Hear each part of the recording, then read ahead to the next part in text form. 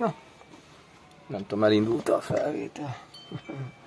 Valami nem a legjobb ez a telefon most. Na, mindegy, azért megpróbáljuk felolvasni a Srimad Bhagavatam negyedik énekének 29. fejezetét.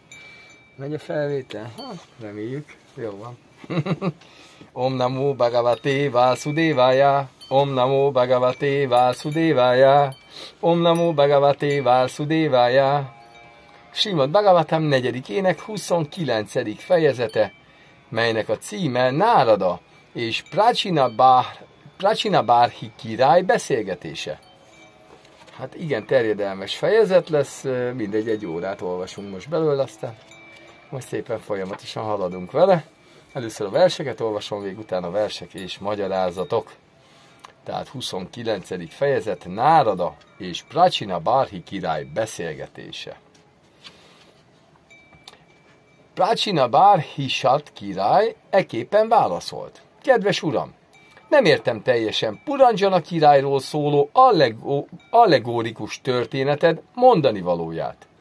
Aki tökéletes lelki tudással rendelkeznek, megérthetik, ám nekünk, akik túlságosan ragaszkodunk a gyümölcsöző tettekhez, nagyon nehéz felfognunk elbeszélésed értelmét. A nagyszen Nárada Muni folytatta. Meg kell értened, hogy Puranjana, az élőlény saját tetteinek megfelelően különféle testeken át vándorol, amelyek lehetnek egylábúak, kétlábúak, háromlábúak, négylábúak, soklábúak, vagy egyszerűen csak lábatlanok. Puranjana az élőlény, az úgynevezett élvező, aki egy testeken keresztül vándorol. Akiről azt mondtam, hogy ismeretlen, nem más, mint az Istenség legfelsőbb személyisége – az élőlény ura és örök barátja. Mivel az élőlények nem érthetik meg az Istenség legfelsőbb személyiségét anyagi neveken, cselekedeteken vagy tulajdonságokon keresztül, mindörökre ismeretlen marad a feltételekhez kötött lelkek előtt. Amikor az élőlény teljességükben akarja élvezni az anyagi természet kötőerőit, akkor a sok test közül előnyben részesíti az olyan testet, amelynek kilenc kapuja, két keze és két lába van. Emberi lény vagy félisten akar lenni.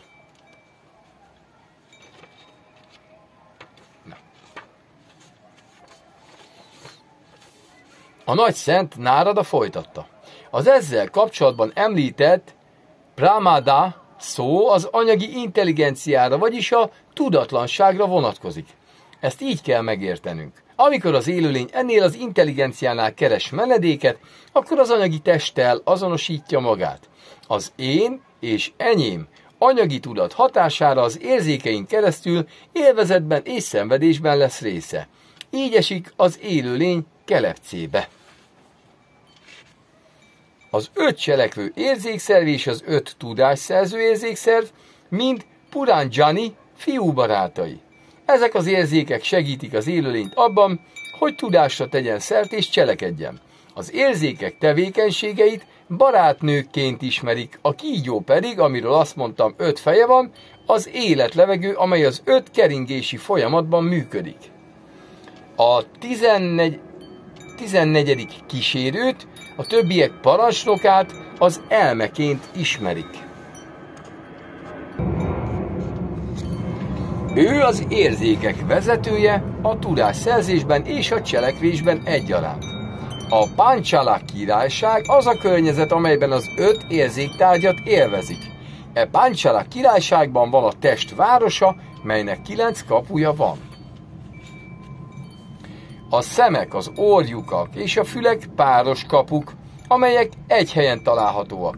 A száj, a nemi szerv és a végbélnyílás szintén egy-egy kapu, az élőlény, aki egy kilenckapus testbe kerül, külsődlegesen az anyagi világban cselekszik, és az érzékek tárgyait élvezi, többek között a formát és az ízt. A két szem, a két orjuk és a száj, öt szerv, elől helyezkedik el. A jobb fület a déli, a bal fület pedig az északi kapunak tekintik. A nyugaton fekvő két nyílás, azaz kapu, a végbél és a nemi szerv. A Kadjota és Avir Mukhi nevű két kapu, amelyekről szó esett, a két egymás mellett elhelyezkedő szem. A Vibrajita nevű város pedig a forma. A két szem tehát mindig különféle formákat néz. A Nalini és Nalini nevű két ajtó a két orjuk. A Saurabha nevű város pedig az illatot képviseli. Az Avadutaként említett társ a szaglás érzet. A Mukjának nevezett ajtó a száj. Vipána a képesség a beszédre. Rasajna, Rasagya pedig az ízérzékelés. Rasagya. Az Ápana nevű város képviseli a nyelv feladatát a beszédben. Budána pedig nem más, mint az ételek változatossága. A jobb, jobb fület Pit Rihu, a balt Dévahu kapujának nevezik. Nárada Muni folytatta. Az a város, amit Daksina Páncsalának neveztem, azokat a szentírásokat képviseli, amelyek a Pravriti, a gyümölcsöző cselekedetek érzéki élvezete útjának szabályozására szolgálnak. A másik város, Uttara Panchala, a gyümölcsöző cselekedetek csökkentésére és a tudás gyarapítására tanító szentírásokat képviseli. Az élőlények a két fül segítségével eltérő tudáshoz jutnak, és némelyikük a pitrilókára, némelyikük a devalókára kerül. Ez a két fül, ezt a két fül teszi lehetővé. A Grámaka nevű város, ahová az alsó Asuri kapun, a nemi szerven keresztül lehet eljutni, nemi életre szolgál, ami nagy örömet nyújt a közönséges embereknek, akik mind ostobák és gazemberek. A nemző képességet Durmadának, a végbél nyílás pedig Nirritinek hívják. Amikor arról beszéltem, hogy Puranjana Vaisa szába megy, ez azt jelenti, hogy a pokolba megy. Vele tart Lubdaka is, a végbél nyílásban cselekvő érzékszerv. Korábban két vaktársáról is említést tettem. Tudnod kell, hogy ők a kezek és a lábak. Az élőlény a kezek és a lábak segítségével végzi tetteit, s megy egyik helyről a másikra. Az antapura szó a szívnek felel meg. Vishucsina, ami azt jelenti mindenhová megy, az elmére vonatkozik. Az élőlény az elméjében élvezi az anyagi természet kötőerőinek hatásait. Ezek a hatások néha illúziót, máskor elégedettséget vagy boldogságot eredményeznek. Korábban már elmagyaráztam, hogy a királynő az ember intelligenciája. Akár ébren van, akár alszik valaki, az intelligencia különféle helyzeteket teremt. A szennyezett intelligencia hatására az élőlény elképzel valamit, és csak utánozza intelligenciája cselekedeteit és reakcióit. Nárada Muni így folytatta. Amit szekérnek neveztem, az valójában a test. Az érzékek pedig a szekeret húzó lovak. Az idő múlásával a lovak hosszú évekig akadály nélkül futnak, valójában azonban nem haladnak. A jámbor és bűnös tettek, a szekér két kereke, az anyagi természet három kötőereje pedig a zászlók a szekéren. Az ötféle életlevegő alkotja az élőlény kötelékét, és az elmét tartják a kötélnek. Az intelligencia a szekérhajtó, a szív a szekér ülése, az élet kettősségei, például az öröm és a fájdalom pedig a rúd, amihez a hámot kötik. A hét elem a szekér burka, a cselekvő érzékszervek az öt külső folyamat, a tizenegy érzék pedig a katonák. A szekéren ülő élőlény, aki az érzékek élvezetébe merül, hamis vágyai beteljesítésén fáradozik, és életről életre az érzékek élvezete után fut.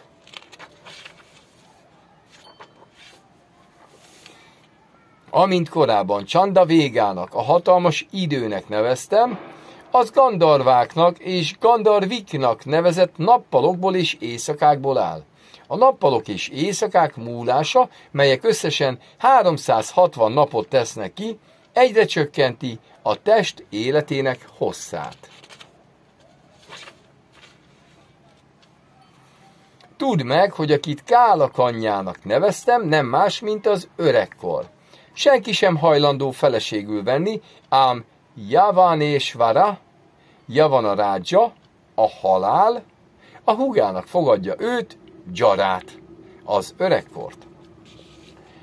Java, Javanésvara, tehát Jamarács követőit a halál katonáinak hívják, és valamennyiüket a testet és az elmét érő különböző zavarokként ismerik. Prajvára képviseli a kétféle lázat, a rendkívüli forróságot és a rendkívüli hideget, azaz a tifuszt és a tüdőgyulladást. A testben fekvő élőlényt rengeteg megpróbáltatás éri, melyeket a sorsnak, más élőlényeknek, valamint saját testének és elméjének köszönhet. Az élőlényt, aki engedelmességre kényszerül a test, az elme és az érzékek követeléseivel szemben, és aki számtalan különféle betegségben szenved, minden megpróbáltatás ellenére meg annyi terv ragadja magával kélyes vágya miatt, hogy élvezze a világot. Noha transzcendentálisan fölötte áll az anyagi létnek, tudatlanságból mégis elfogadja ezeket az anyagi szenvedéseket a hamis én tudat, az én és az enyém felfogás következtében. Száz évet él így le a testében.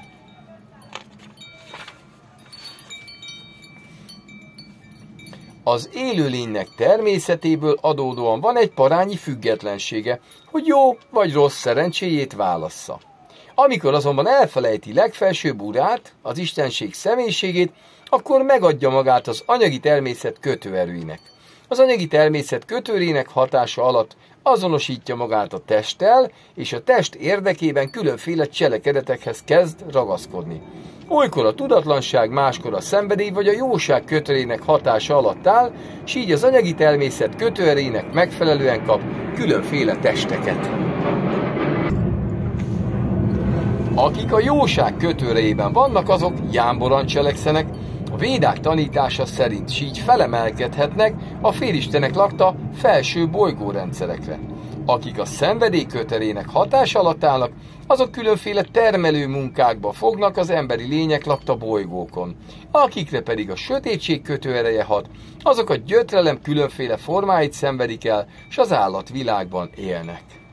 Az anyagi természetben a tudatlanság kötörével fedve az élőlény néha hím, néha nőnemű, néha eunuch, néha emberi lény, néha félisten, néha madár, néha más állat, és így tovább. Így vándorol az anyagi világban. E különféle testeket a természet kötőerőinek hatására végrehajtott tettei miatt kell elfogadnia. Az élőlény éppen olyan, mint egy éjség kínoszta kutya, ami ajtótól ajtóig kullog egy pár falat reményében. Sorsa szerint néha megbüntetik és kidobják, máskor viszont adnak neki egy kevéske ételt. Az élőlény számtalan vágya hatására ugyanígy bolyong a különböző létformákban, ahogy sorsa előírja. Néha fenn van, néha pedig lent. Néha a mennyei bolygókra, néha a pokolba, máskor pedig a középső bolygókra megy, soha véget nem érően. Az élőlények igyekeznek elkerülni a különféle gyötrelmes helyzeteket, melyeket sorsuk, más élőlények vagy a test és az elme okoz. Mégis feltételekhez kötik őket a természet törvényei, bármennyire is próbálják legyőzni azokat. A fején terhet cipelő ember néha leveszi a súlyt a fejéről, és áthelyezi a vállára, ha túl, túl nehéznek találja. Így próbál könnyíteni a terhén.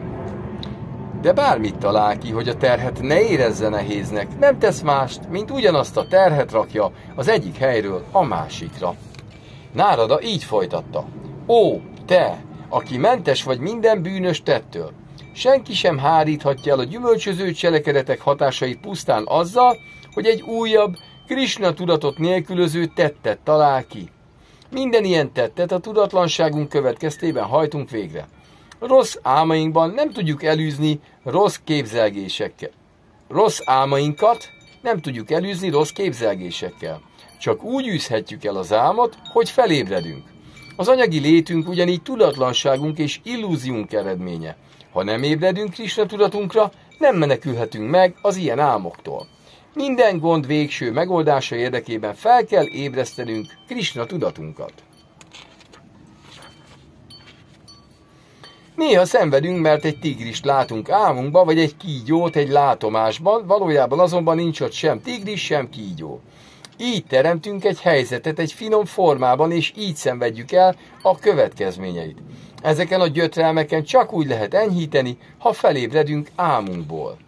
Az élőlény igazi érdeke az, hogy kiszabaduljon a tudatlanságból, ami miatt el kell szenvednie az ismétlődő születést és halált. Az egyetlen gyógyír az, ha meghódol az Istenség legfelsőbb személyiségének, az ő képviselőjén keresztül. Ha nem végez odaadó szolgálatot az Istenség legfelsőbb személyiségének, Vasudévának, semmiképpen sem válhat teljesen közömbössé az anyagi világgal szemben, és valódi tudással sem rendelkezhet.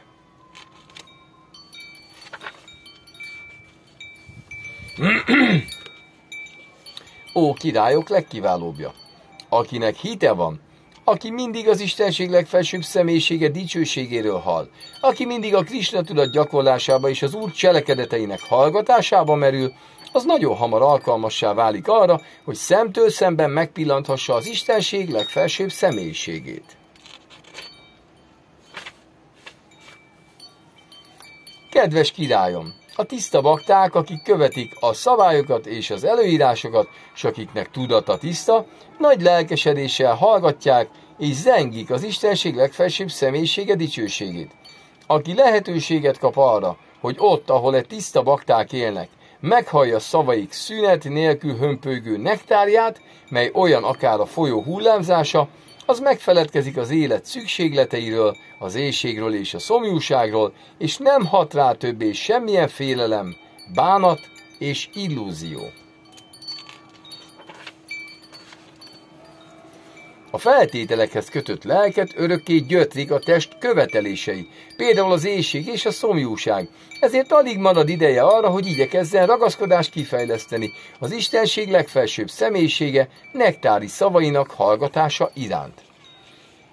A leghatalmasabb úr Brahma, az ősatyák atya, az úr Síva, Manu, Daksa és az emberiség más irányítói, a négy legkiválóbb szent Brahmacsári, Szanakával és Szana, Szana, Szanátanával az élen, Marici, Átri, Ángira, Pulasztja, Pulaha, Kratu, Brigu és Vas, Vasista, a nagyszentek és én magam, Nárada, valamennyien komoly brámanák vagyunk, és hitelesen tudunk beszélni a védikus irodalomról.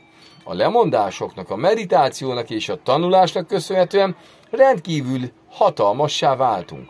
Ám annak ellenére, hogy oly sok, oly sokat kérdeztünk már az Istenség legfelsőbb személyiségéről, akit örökké szemünk előtt látunk, mégsem ismerjük tökéletesen.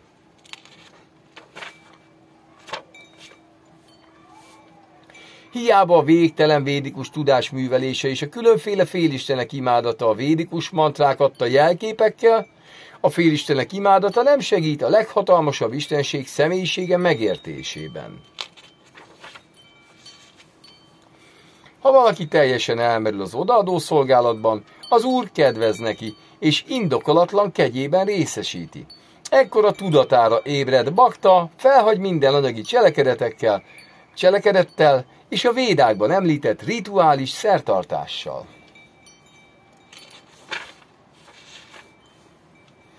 Kedves Bárhismán király, soha ne kezd tudatlanságból védikus ceremóniákba vagy gyümölcsöző cselekedetekbe, amelyekről talán öröm hallani, s úgy tűnhet, az ember érdekét szolgálják. Ne tekintsd ezeket soha az élet végső céljának. A csekély értelmű emberek azt hiszik, hogy a védikus rituális szertartások jelentenek mindent.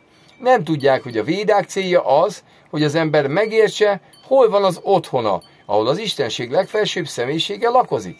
Nem érdekli őket igazi otthonuk, ezért illúzióban élnek, s más otthonok után kutatnak. Kedves királyom, az egész világot kúsafűszálak, szúrós hegyei borítják.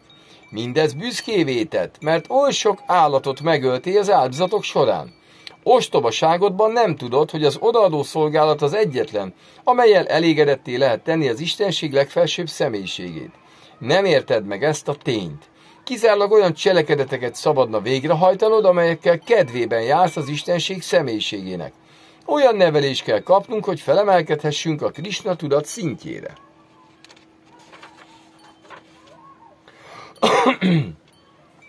Sri Hari, az Istenség legfelsőbb személyisége, a felső lelke és irányítója minden élőlénynek, aki anyagi testbe került ebben a világban.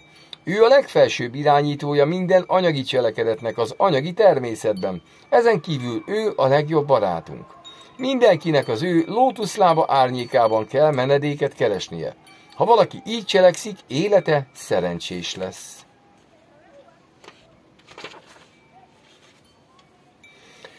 Aki odaadó szolgálatot végez, az egy cseppet sem fél az anyagi létezés során. Mindez azért van így, mert az Istenség legfelsőbb személyisége mindenki felső lelke és barátja. Aki ismeri ezt a titkot, az valóban művelt, és a világ lelki tanítómesterévé válhat. Egy valóban hiteles lelki tanítómester, Krishna képviselője nem különbözik Krishnától. A nagy szent Nárada így folytatta. Ó nagyszerű személyiség! Minden kérdésedre megfelelő választ adtam. Most hallj egy másik, rendkívül bensőséges történetet is, melyet valamennyi szent elfogad.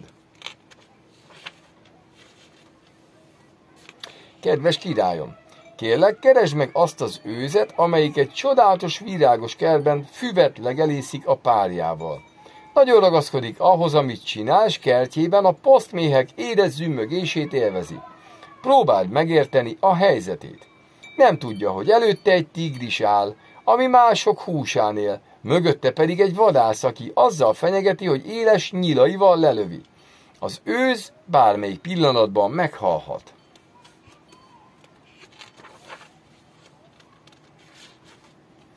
Kedves királyom, a nő, akit kezdetben, a nő, aki kezdetben nagyon vonzó, de végül csak gondot okoz, pontosan olyan, mint az a virág, ami kezdetben csábító, ám a végén utálatos. Egy nővel élve az élőlény a kélyes vágyakba merül, és úgy élvezi a nemi életet, ahogy az ember a virág illatát élvezi. A nyelvétől a nemi szervég az érzékkielégítéssel teli életet élvezi, ezért nagyon boldognak tartja magát a családi életben. Feleségével együtt örökké ezek a gondolatok járnak a fejében. Nagy örömét leli felesége és gyermekei szavaiban, melyek a virágról virágra szálló, mézetgyűjtő méhek édes döngdicséléséhez hasonlatosak.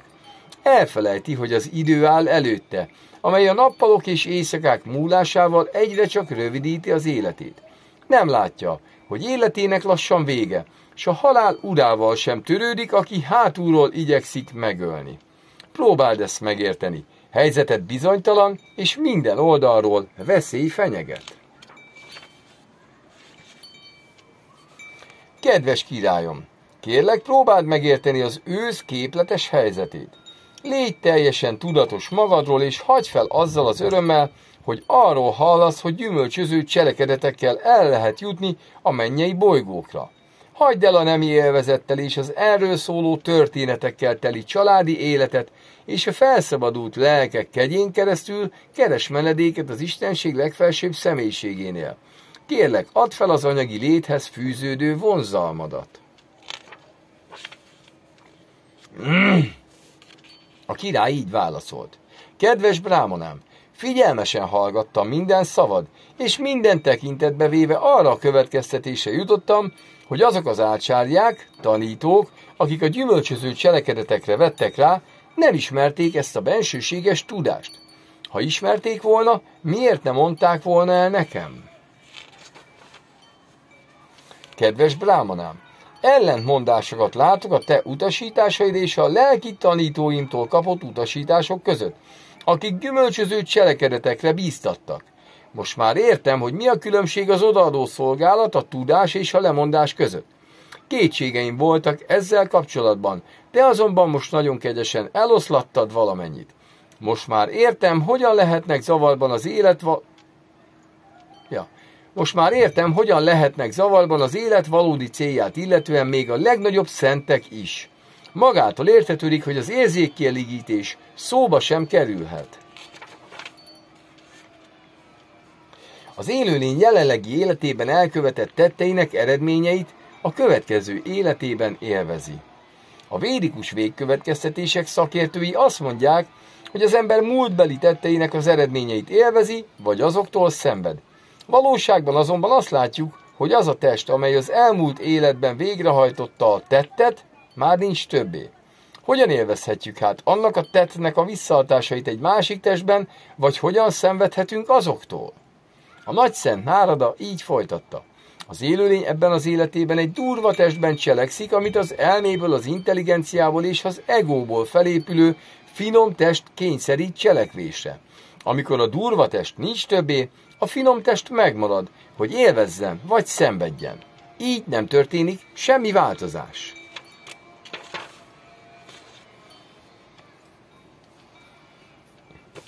Az élőlény álmában elhagyja a valódi élő testet. Elméje és intelligenciája működése révén egy másik testben cselekszik, hol istenként, hol kutyaként. Egy durva test elhagyása után az élőlény kap egy állati vagy egy félisteni testet, ezen a bolygón vagy egy másikon. Így élvezi az elmúlt életében végrehajtott tettei eredményeit. Én ez vagyok, én az vagyok, ez a kötelességem, ezért ezt kell tennem. Ilyen testi felfogásban cselekszik az élőlény. Ezek csak az elme benyomásai, és mindezek a cselekedetek ideiglenesek, ám az Istenség legfelsőbb személyisége kegyéből az élőlény mégis lehetőséget kap rá, hogy valóra váltsa elméje kitalációit, és így kap egy másik testet. Úrá! Az élőlény elméjének vagy tudatának helyzetét az érzékek kétféle csoportjának, a tudásszerző és a cselekvő érzékszerveknek a cselekedeteiből lehet megérteni. Ugyanígy abból, hogy milyen egy személy elmeállapota vagy tudata, láthatjuk, mi volt a helyzete előző életében. Néha hirtelen olyan dolgokat tapasztalunk, amit jelen testünkben sohasem láttunk vagy hallottunk. Néha álmunkban bukkannak fel ezek a dolgok. Kedves királyom, az élőlény, akit egy finom, mentális burok vesz körül, előző teste miatt különféle gondolatokat és elképzeléseket alakít ki. Higgy a szavannak, az elme semmit sem találhat ki, amit az előző testben nem tapasztalt.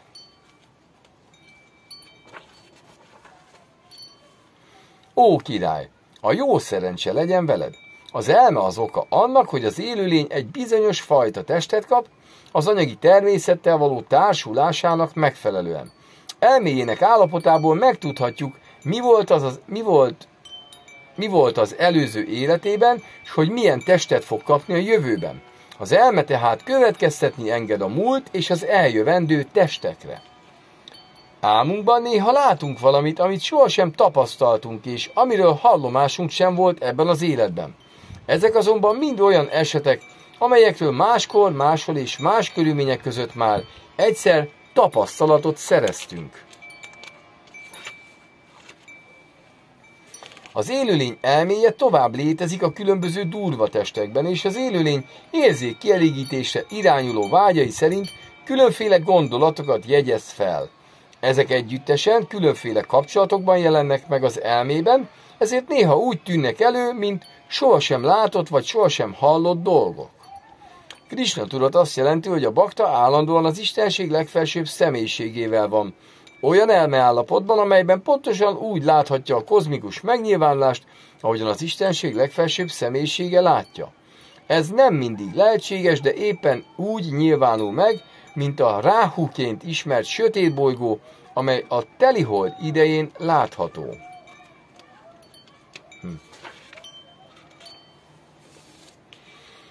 Amíg az intelligenciából, az elméből, az érzékekből és az érzéktárgyakból és az anyagi kötőerők visszahatásaiból álló finom test létezik, addig a hamis azonosítás tudata és a hozzá kapcsolódó tárgy, a durva test is létezik. Amikor az élőlény mély álomban merül, vagy elájul, vagy amikor egy súlyos veszteség miatt nagy megrázkódtatás éri, a halál pillanatában, vagy amikor a test hőmérséklete rendkívül magas, akkor az élet levegő áramlása elakad. Ilyenkor az élőlény elveszi azt a tudást, melynek alapján a testét az önvalójával azonosítja. Amikor valaki fiatal, a tíz érzék az elmével együtt teljesen megnyilvánul. Az anya méhében vagy gyermekkorban azonban az érzékszervek és az elme befedettek, ahogy a teli holdat takarja el az új hold éjszakájának sötétsége.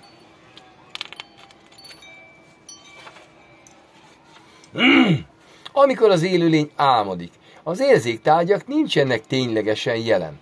Mivel azonban már kapcsolatba került az érzéktárgyakkal, azok megnyilvánulnak. A fejletlen érzékekkel rendelkező élőlény anyagi léte sem szűnik meg, noha nincs igazából kapcsolatban az érzéktárgyakkal.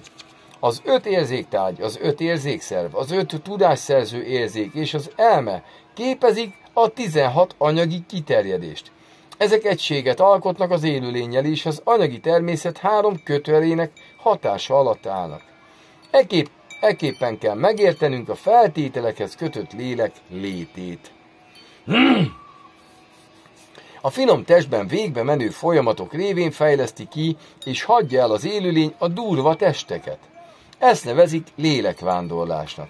Így a lélek az úgynevezett élvezet, bánkódás, félelem, boldogság és boldogtalanság különféle formáinak lesz részese.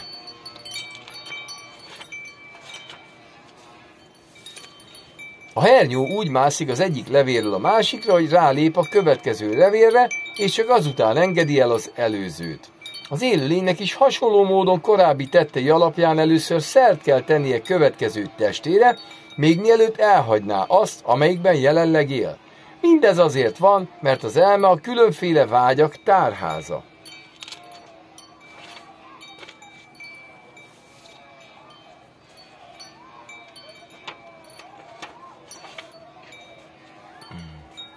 Amíg az anyagi érzékkielégítés élvezetére vágyunk, addig anyagi cselekedeteket hozunk létre. Amikor az élőlény az anyagi területen cselekszik, gyönyört merít az érzékeiből, és az érzékeink keresztül nyert élvezet közben egy újabb sorozat anyagi cselekedetet teremt. Így kerül csapdába, mint feltételekhez kötött lélek. Mindig emlékezz, hogy ez a kozmikus megnyilvánulás az Istenség legfelsőbb személyisége akaratából jött létre, marad fenn és pusztul majd el. Következésképpen ebben a kozmikus megnyilvánulásban minden az Úr irányítása alatt áll. Ahhoz, hogy szert tegyen erre a tökéletes tudásra, az embernek mindig az Úr odaadó szolgáltát kell végeznie. A nagy szent Maitréja így folytatta. A legkiválóbb bakta, a nagy szent Nárada elmagyarázta pa Prácsina Bárhi királynak az istenség legfelsőbb személyisége és az élőlény eredeti helyzetét. Aztán meghívta a királyt, s visszatért Szithalókára. A szent Prácsina Bárhi király miniszterei jelenlétében utasításokat hagyott hátra a fiainak, hogy védelmezzék az ország népét. Aztán elhagyta otthonát, és a kapilásramaként ismert szent helyre vonult, hogy ott a lemondásnak éljen. Miután Prachina Bárhi király lemondásokat és vezekléseket végzett kapilásramában, teljesen megszabadult minden anyagi megjelöléstől. Szüntelenül elmerült az ultranszendentális szeretőszolgáltában, és az Istenség legfelsőbb személyiségével minőségileg azonos lelki helyzetet ért el. Kedves vidurám, aki meghallgatja ezt a történetet az élőlény lelki létének megértéséről, ahogy a nagy szent Nárada elbeszélte, vagy aki átadja másoknak, az megszabadul a testi életfelfogástól. Ezt a történetet, amelyet a nagy szent Nárada elmesélt, az Istenség legfelsőbb személyiségének transzcendentális dicsősége hatja át. Ezért, ha valaki elmeséli, kétségtelenül megszenteli vele ezt az egész anyagi világot. Ez az elbeszélés megtisztítja az élőlény szívét, és segít neki, hogy visszanyerje lelki azonosságát. Aki elmondja ezt a transzcendentális történetet, az megszabadul minden anyagi kötöttségtől, és többé nem kell ebben az anyagi világban vándorolnia. Puranjana király példázatát, amelyet a hiteles forrásokat követve meséltem el, a lelki tanítómesteremtől hallottam. Ezt a történetet lelki tudás itatja át. Ha valaki megérti-e példázat mondani valóját, nem férhet hozzá kétség, hogy megszabadul a testi felfogástól, és tisztán megérti, hogy a halál után élet következik. Ha valaki nem tudja, mi a lélekvándorlás, ezt a leírás tanulmányozva tökéletesen megértheti.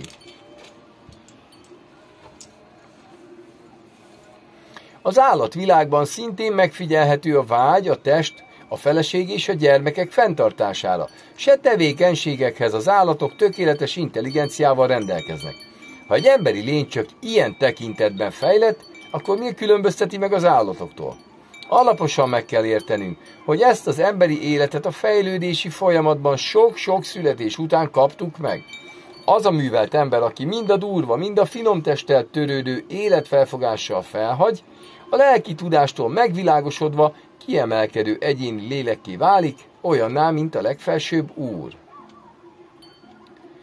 Ha egy élőlény fejlett Krishna tudattal rendelkezik, ha kegyes másokhoz, valamint ha tökéletesen ismeri az önmegvalósításról szóló lelki tudományt, azonnal kiszabadul az anyagi lét kötelékei közül.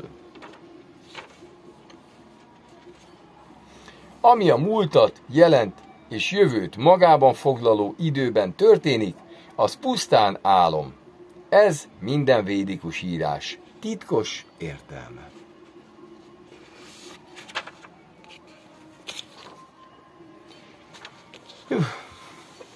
Hát igen. Hát csak a versek 36 perc, és most kezdődik a versek és magyarázatok. Hát nem tudom, szerintem egy 6 óra lesz körülbelül. 29. fejezet Nárada és Prachina Bálhi király beszélgetése. Első vers. Prachina Bálhír uvácsa. Bhagavams te vacho asmabir nasamyag avagamyate kavayas ta vijananti navayam karma mohita. Pracsina Bárhisát király eképpen válaszolt. Kedves uram, nem értem teljesen Puranjana királyról szóló allegórikus történeted mondani valóját. Aki tökéletes lelki tudással rendelkezik, megértheti, ám nekünk, akik túlságosan ragaszkodunk a gyümölcsöző tettekhez, nagyon nehéz felfognunk elbeszélésed értelmét. Magyarázat. A Bhagavad Gítában 7.3 az Úr Krishna így szól. Tribir Gunamájair Bavair Ebih Ebhih Szárvám idám jagat. Mohitam nabijanati mám ébjach param avjajam. A három kötőerőtől, a jóságtól, a szenvedélytől és a tudatlanságtól megtévesztett világ nem ismer engem, aki a kötőerők felett állok és kimeríthetetlen vagyok. Az embereket általában elbűvöli az anyagi természet három kötőereje, ezért csak nem képtelenek arra, hogy megértsék, a kozmikus megnyilvánulásban minden anyagi cselekedet mögött az Istenség legfelsőbb személyisége Krishna áll. Amikor az emberek bűnös vagy jámbor tetteibe merülnek, tudásuk az odaadó szolgálatról nem tökéletes. Az allegórikus történetnek, melyet Nárada Muni Barhismán királynak elmesélt, kifejezetten az a célja, hogy a feltételekhez kötött lelkeket lefoglalja az odaadó szolgálattal. Aki odaadó szolgálatot végez, könnyen megértheti az egész képletes történetet, akik azonban nem az odaadó szolgálattal, hanem az érzék kielégítéssel törődnek, azok nem képesek tökéletesen megérteni, bár, nem képesek tökéletesen megérteni. Bár Hismán király belátja ezt. Ez a 29. fejezet arról szól, hogy ha valaki túlságosan ragaszkodik a nőkhöz, akkor következő életében nőként születik meg, de aki az Istenség legfelsőbb személyiségének vagy az ő képviselőjének a társaságát keresi, az megtisztul minden anyagi ragaszkodástól, és így felszabadul. Második vers. Nárada uvácsa. Purusám, Puranjanám, Vidyad, Yad Vyanakti, Atmanach Puram, Ekadvitri, Csátus Padam, Bahupadam Apádakam. A nagy szent Nárada Muni folytatta. Meg kell értened, hogy Puránjana az élőlény saját tetteinek megfelelően különféle testeken át vándorol, amelyek lehetnek egylábúak, kétlábúak, háromlábúak, négylábúak, soklábúak, vagy egyszerűen csak lábatlanok. Puránjana az élőlény, az úgynevezett élvező, aki a testeken keresztül vándorol. Magyarázat. Ez a vers szépen leírja, hogyan vándorol a lélek egyik testből a másikba. Az ekapáda, az egylábú szó a szellemekre utal, mert azt mondják, hogy a szellemek egy lábon járnak. A dvipáda, a kétlábú szó az emberi lényekre vonatkozik. Amikor az ember túl öreg vagy rokkant, akkor három lábúnak tartják, mert mankóra vagy botra támaszkodva jár. A csátuszpada szó csátus. A csátuspada szó természetesen a négy lábúakat, az állatokat jelenti. A bahupada szó azokra a teremtményekre utal, amelyeknek négynél több lábuk van. Sok olyan rovar van, például a százlábú és számos más vízi élőlény, melynek sok lába van. Az apádaka, lábatlan szó a kígyókra utal. A purancsana név azt a szemét jelöli, aki a különféle testekben élvezetet talál. Élvező mentalitásának különféle testek adnak hajlékot az anyagi világban. Harmadik vers. Jó, avigy... Jó, avigyataritas tasya purushasya varach yan na vigyana vigya te pumbir namabirva kriya gunai. Akiről azt mondtam, hogy ismeretlen, nem más, mint az Istenség legfelsőbb személyisége, az élőlény ura és örök barátja. Mivel az élőlények nem érthetik meg az Istenség legfelsőbb személyiségét anyagi neveken, cselekedeteken vagy tulajdonságokon keresztül, mindörökre ismeretlen marad a feltételekhez kötött lelkek előtt. Magyarázat.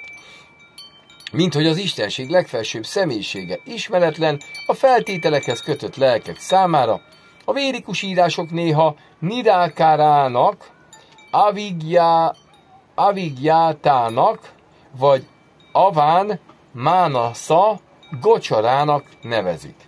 Valóban igaz, hogy az Istenség legfelsőbb személyiségét, alakját, nevét, természetét, kedvteléseit vagy környezetét nem lehet anyagi érzékek segítségével felfogni. Amikor azonban valaki fejlett lelki szinten áll, megértheti a legfelsőbb úr nevét, alakját, tulajdonságait, kedvteléseit és mindazt, ami hozzá tartozik. Ezt a Bhagavad Gita 1855 is megerősíti. Bhaktiya mam abhijananti javan yas chasmi tatvata. Az ember csak akkor értheti meg a maga valójában az Istenség legfelsőbb személyiségét, ha odaadó szolgálatot végez. A közönséges emberek, akik jámbor és bűnös tetteikbe merülnek, nem érthetik meg az Úr formáját, nevét és tetteit. A bakta azonban sok oldaláról ismerheti az Istenség személyiségét. Megértheti, hogy Krishna az Istenség legfelsőbb személyisége, aki Goloka Vrindávanán él, és akinek cselekedetei teljes mértékben lelkiek. Amiatt, hogy a materialisták nem fogadják, nem foghatják fel, tehát amiatt, hogy a materialisták nem foghatják fel az Úr formáját és tetteit, a sászrák Nirákarának nevezik őt, ami annyit jelent, hogy alakját a materialista ember nem ismerheti meg. Ez nem azt jelenti, hogy az Istenség legfelsőbb személyiségének nincs formája, hanem azt, hogy a karmik, vagyis a gyümölcsöző cselekedeteket végző emberek nem értik meg. Az Úr formáját a Brahma Samhita Satchit Ananda Vigrahának nevezi. A Padma Purana megerősíti.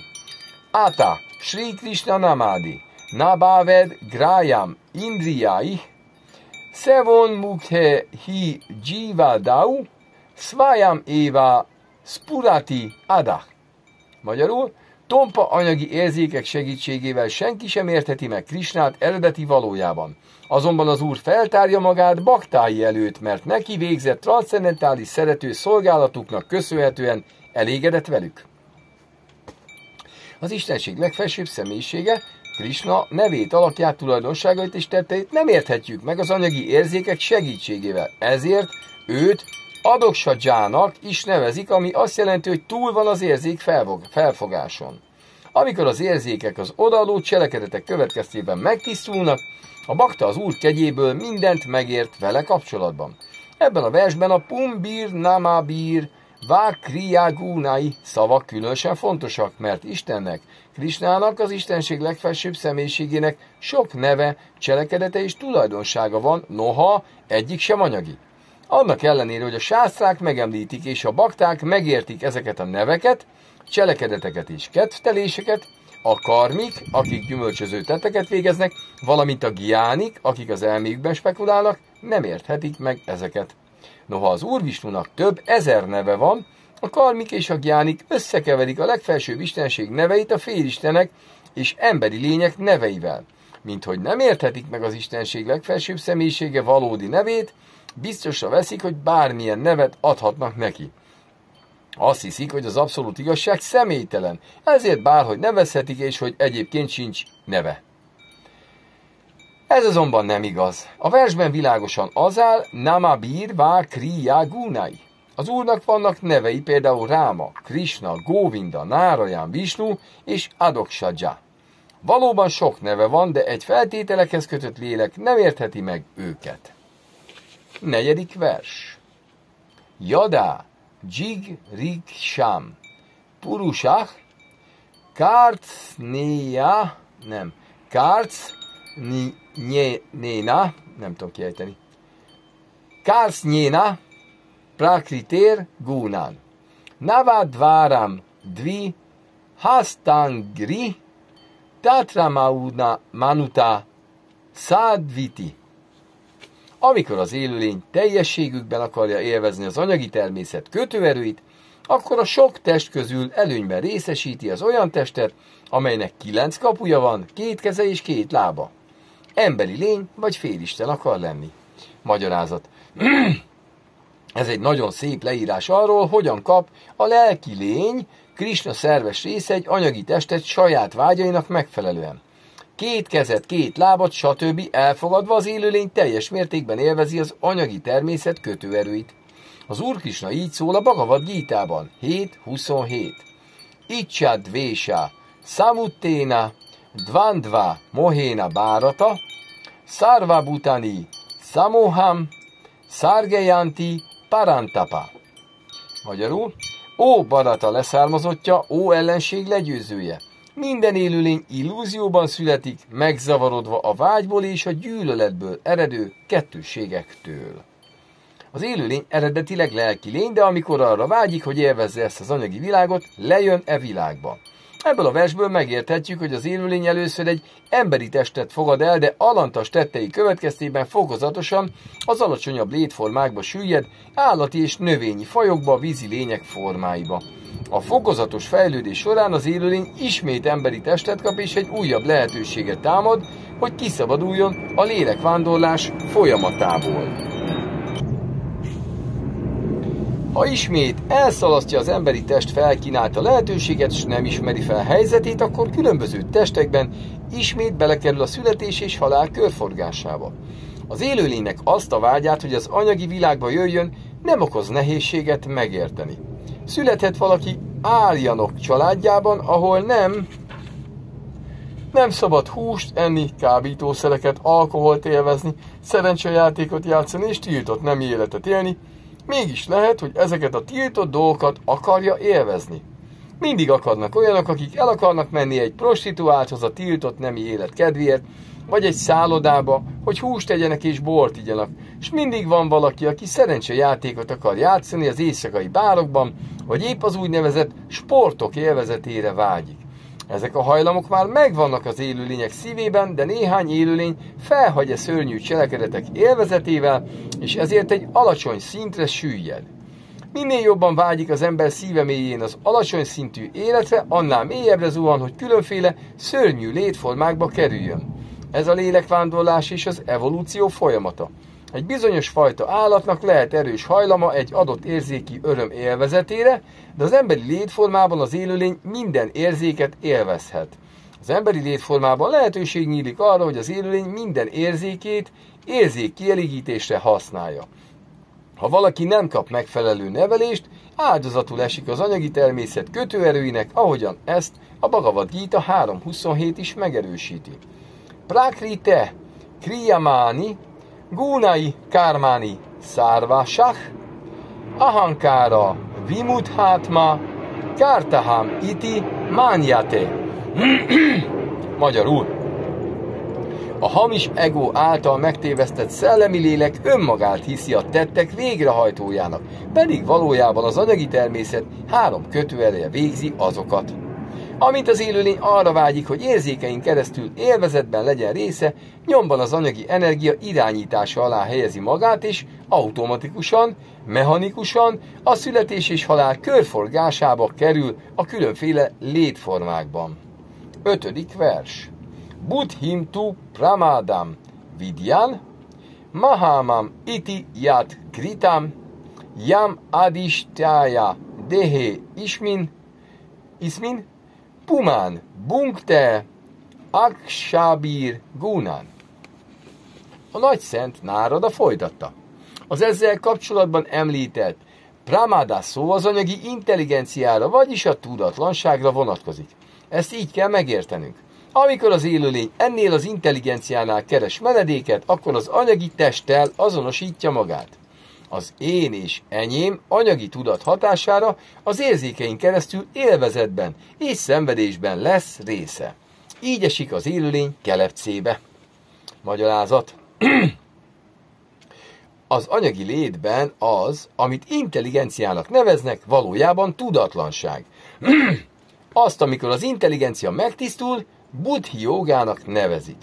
Más szóval azt, amikor az intelligencia összekapcsolódik Krishna vágyaival, akkor buddhi jogának vagy bhakti jogának hívják. A Bhagavad Gita-ban 10.10 éppen ezért Krishna azt mondja. Tésám satata yuktanam bhajatam priti purvakam Dadámi buddhi jogam tam, jénamam upayanti te. Magyarul. Akik szüntelen odaadással és szeretettel szolgálnak engem, azoknak megadom azt az értelmet, amelyel eljuthatnak hozzám. Valódi intelligencia azt jelenti, hogy összekapcsolódunk az Istenség legfelsőbb személyiségével. Amikor ezt tesszük, az Istenség legfelsőbb személyisége belülről megadja az igazi intelligenciát, amelynek segítségével hazatérhetünk vissza Istenhez az ebben az anyagi világban működő intelligenciát pramadának nevezi ez a vers, mert az anyagi létben az élőlény tévesen azt tartja, hogy minden az ő tulajdona. Azt gondolja, én vagyok az ura mindennek, amit csak látok. Ez tudatlanság. Igazából semmi sem az övé. Még a test és az érzékek sem tartoznak hozzá, mert az Úr kegyéből kapta őket, hogy az anyagi energián keresztül kielégítse különféle hajlamait. Valójában semmi sem az élőlényé mégis őrülten vágyik mindenre, s azt állítja, ez az enyém, ez az enyém, ez az enyém. Janasyam moho ayam aham mameti. Ezt nevezik illúziónak. Semmi sem az élőlényé, mégis azt állítja, hogy minden az ő tulajdona. Az Úr Csétanya Mahaprabhu azt tanácsolja, tisztítsuk meg ezt a hamis intelligenciát. Cséto Darpana Marjanam. Amikor az intelligencia tükre megtisztult, elkezdődnek az élőlény valódi cselekedetei. Ez azt jelenti, hogy amikor valaki eljut a Krishna tudat síkjára, akkor az igazi intelligenciája működik. Tudja, hogy minden Krishnáé és semmi sem az övé. Amíg azt hiszi, hogy minden az ő tulajdona, addig anyagi a tudata, amikor pedig tökéletesen tisztában van azzal, hogy minden Krisnáé, akkor Krishna tudatú. Hatodik vers. Sakhaya Indriya Gana Gyánam Karma Cha Yad Kritam Sakyas Tad Vrittayah Prana Pancha Vritir Yad Horagah az öt cselekvő érzékszerv és az öt tudásszerző érzékszerv mind Jani fiú barátai. Ezek az érzékek segítik az élőlényt abban, hogy tudásra tegyen szert és cselekedjen. Az érzékek tevékenységeit barátnőként ismerik, a kígyó pedig, amiről azt mondtam, öt feje van, az életlevegő, amely az öt keringési folyamatban működik. Magyarázat. A préma vivárta így ír. Krishna Bahir Mukha Hane Hana Boga Vanchakare Nikata Sta Maya Tare Japatiya Dare Az anyagi világ élvezetére irányuló vágya miatt az élőlény durva és finom testekbe öltözik, és így lehetőséget kap arra, hogy az érzékein keresztül élvezetben legyen része. Az érzékek tehát az anyagi világ élvezetére szolgáló eszközök, ezért a versek barátoknak nevezték őket. Néha az élőlény túlságosan sok bűnös tette miatt nem kap durva testet, hanem a finom síkon lebeg. Ezt nevezik szellemlétnek. Mivel nincs durva teste, e finom testben sok gondot okoz, és ezért egy szellem jelentése borzalmas azok számára, akik durva testben élnek. Mivel nincs durva teste, a finom testben sok gondot okoz, és ezért egy szellem jelenléte borzalmas azok számára, akik durva testben élnek. Bocsánat. A Bhagavad Gita 15.10 így ír. Ut mantam stitam vapi bunjanam va gunan vitam vimutha nanupashyanti pasyanti gyana csáksúsach. Magyarul, az ostobák nem értik meg, hogyan képes az élőlény elhagyni testét, és az sem, miféle testből merít örömet a természeti erő, a természet kötőerének varázsa alatt. De aki a tudás szemével néz, az látja mindezt.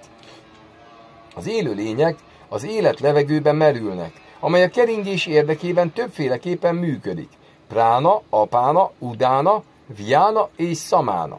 Amiatt, hogy az életlevegő ezen az ötféle módon működik, egy ötfejű kígyóhoz hasonlítják. A lélek úgy halad keresztül a kundalini csakrán, ahogy a kígyó siklik a földön. Az életlevegőt az uragához, a kígyóhoz hasonlítják. A páncsávriti az érzékek kielégítésére irányuló vágy, amely az öt érzéktárgyhoz vonzódik. A formához, az ízhez, a hanghoz, az illathoz és a tapintáshoz. Hetedik vers. Brihad Balam Mano Vidyad, Upha Yendriya Nayakam, Panchala Pancha Vishaya, Jan Madje Nava Kampuram. A tizenegyedik kísérőt a többiek parancsnokát az elmeként ismerik. Ő az érzékek vezetője a tudás szerzésben és a cselekvésben egyaránt. A pancsála királyság az a környezet, amelyben az öt érzéktárgyat élvezik. E pancsála királyságban van a test városa, melynek kilenc kapuja van. Magyarázat Az elme minden cselekedet központjas, e vers Brihad Balának nagyon hatalmasnak nevezi. Ahhoz, hogy az élőlény kiszabaduljon máják karmai közül, vagyis az anyagi létből, fegyelmeznie kell az elméjét. Az elme lehet a barátja vagy az ellensége, attól függően milyen nevelést kapott. Ha valaki talál egy jó intézőt, az szépen fogja vezetni a birtokát, ám ha az illető tolvaj, akkor csak tönkretesz mindent. A anyagi, feltételekhez kötött létében az élőlény ugyanígy egy bizonyos jogkörrel bízza meg az elméjét, aki emiatt könnyen félrevezeti és beletaszítja az érzéktárgyak élvezetébe. Srila Ambaris Maharaj ezért legelőször az elméjét rögzítette az úr lótuszlábára. Szávai mana Krishna padara vindayoh. Ha az elmét lefoglaljuk az úr lótuszlábán való meditációval, azzal kordában tartjuk az érzékeket. A fegyelmezésnek ezt a formáját jamának nevezik, ami annyit jelent, mint legyőzni az érzékeket. Aki le tudja győzni az érzékeit, az Goszváminak nevezik, még aki nem tud uralkodni az elméjén, az Godásza. Az elme irányítja az érzékek cselekedeteit, amelyek különféle nyílásokon keresztül nyilvánulnak meg, ahogy a következő vers leírja. Nyolcadik vers. Akshini Nashike Karnau. Mukham Shishna Gudav Iti. Dve Dve Dvarau Bahir Yati. Yastad Indriya Samyutach. A szemek, az orjukak és a fülek páros kapuk, amelyeken, amelyek egy helyen találhatóak. A száj, a nemi szerv és a végbélnyílás szintén egy-egy kapu. Az élőlény, aki egy kilenc kapus testbe kerül, külsődlegesen az anyagi világban cselekszik, és az érzékek tárgyait élvezi, többek között a formát és az ízt. Magyarázat. Mivel az élőlény nem tud lelki helyzetéről, az elme irányítására kimegy a kilenc kapun, hogy az anyagi dolgokat élvezze. Az anyagi dolgokkal való hosszú kapcsolat következtében megfeledkezik valódi lelki cselekedeteiről, és így becsapottá válik. Az úgynevezett vezetők, a tudósok és filozófusok, akik nem tudnak a lélekről, az egész világot félrevezetik. Így válik a feltételekhez kötött lélek egyre lekötöttebbé.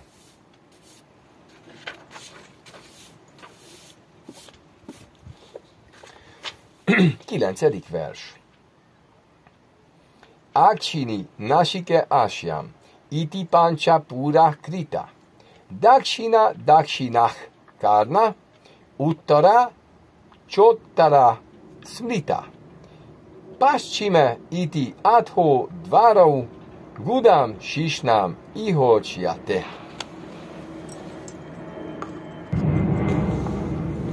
A két szem, a két orjuk és a száj, öt szerv elől helyezkedik el. A jobb fület a déli, a bal fület pedig az északi kapunak tekintik. A nyugaton fekvő két nyílás, azaz kapu, a végbél és a nemi szerv. Magyarázat. Az égtájok közül keletet tartják a legfontosabbnak, főként azért, mert a nap keleten kell. A keleti oldal kapui ezért a szem, az orr és a száj nagyon fontos kapui a testnek. Tizedik vers. Kad, kad yo tavir mukhi chatra. Netre ekatra nirmite. Rupam vibrajitam tabjam. Vicsáste és varach a Kádiota és Avir Mukhi nevű két kapu, amelyekről szó esett, a két egymás mellett elhelyezkedő szem, a Vibra Jita nevű pá, város pedig a forma. A két szem tehát mindig különféle formákat néz. Magyarázat.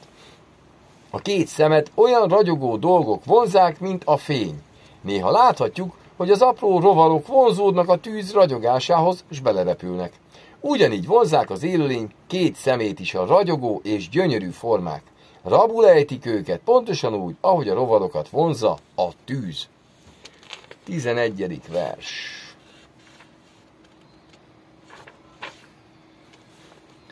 Nálini, nálini, nalini, nálini, násze, gandak, saurabha, úcsjate, gránó, avaduto, muk, ja Mukhasyam, Vipanovág, Rasavid Rasach. A Nalini és Nálini nevű két ajtó a két orjuk. A Saurabha nevű város pedig az illatot képviseli. Avadutaként említett társ a szaglásérzet.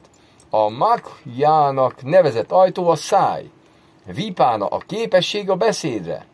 Raszágja pedig az ízérzékelés. Magyarázat. Az Avat Huta szó azt jelenti, hogy a legszabadabb. Aki elérte az Avat Huta szintet, az semmilyen szabály vagy rendelet nem korlátozza, vagyis azt tesz, amit akar. Ez az Avat Huta szint éppen olyan, mint a levegő, ami nem törődik semmilyen akadályjal. A Bhagavad Gita-ban 6.34 ez áll. Csáncsalám hi mana Krishna, Pramati Balavad Dridham, Tasyaham Nigraham Manye Vajor Iva Suduskaram. Magyarul, ó Krisna, én úgy látom, hogy könnyebb megállítani a szelet, mint szabályozni az elmét, amely nyugtalan, fegyelmezetlen, csökönyös és hihetetlenül erős. Ahogy a levegőt vagy a szelet senki sem állíthatja meg úgy a két orjuk, amely egy helyen található, szintén akadály nélkül élvezi a szaglás érzékelést. Amikor a nyelv jelen van, a száj szüntelenül a legkülönfélébb ízletes ételeket élvezi. 12. vers. Apano viava haro atra, citram andro andho bahudanam, pitrihur dakshina karna, uttaro devahuh smrita. Az Ápana nevű város képviseli a nyelv feladatát a beszédben. Budánál pedig nem más, mint az ételek változatossága. A jobb fület Pitrihu, a balt Dévahu kapujának nevezik. 13. vers. Pravrittam cha nivrittam cha Shastram panchala samgitam Pitri jánam déva jánam Srotrach Csruta Darád Vrajet. Nárada Muni folytatta. Az a város, amit Daksina Pancsalának neveztem, azokat a szentírásokat képviseli, amelyek a Pravriti, a gyümölcsöző cselekedetek érzéki élvezete útjának szabályozására szolgálnak. a másik város, Uttara Pancsála, a gyümölcsöző cselekedetek csökkentésére és a tudás gyarapítására tanító szentírásokat képviseli. Az élőlények a két fül segítségével eltérő tudáshoz jutnak, és némelyikük a pitliókára, némelyikük a devalókára kerül. Ezt a két fül teszi lehetővé. Magyarázat. A védákat srutiként ismerik, a tudás pedig, ami a hallás útján kapunk tőlük, sruta darának nevezik. Ahogy a Bhagavad Gita elmondja, az élőlény pusztán a hallás folyamata révén eljuthat a félistenek bolygóira, vagy a piták, ősatyák bolygóira, sőt, még a Vajkunta bolygókra is. A korábbi fejezetekben már mindezt elmagyaráztuk. Következő alkalommal a 14. verstől fogjuk folytatni. Srimad Bhagavatam ki jai, Srila Prabhupád ki jai, Jai Nitai Góra Prémanandé, Hari Hari Ból, Góra Bakta Vrinda ki jai. Köszönöm, hogy meghallgattál, Hari Krishna.